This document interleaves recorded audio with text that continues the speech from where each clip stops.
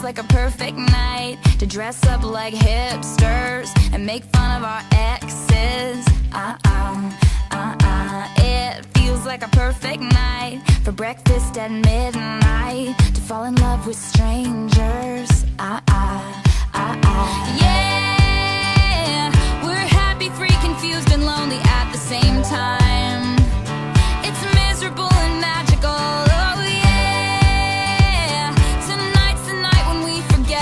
the deadline.